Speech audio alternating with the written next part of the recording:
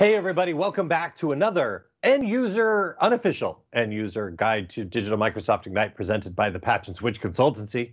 Today, we want to talk about the Learning Zone, and I'm super psyched about this. This is probably one of my favorite parts of the digital experience. Right. So the Learning Zone also is only available, like the Connection Zone, if you register at myignite.microsoft.com for the full experience. But the Learning Zone is a separate area from the main page that specifically targets upskilling and learning for yourself and for your colleagues that are involved in Microsoft Ignite.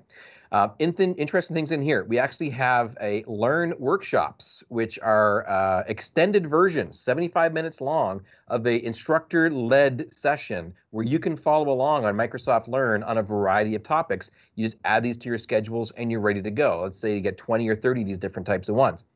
Um, we have a section specifically on folks that are new to the IT industry and that are retraining to become people that work as IT professionals, developers, and others, and students called Intro to Technical Skills. These are entry level sessions that are designed to on ramp you into these different types of uh, technologies.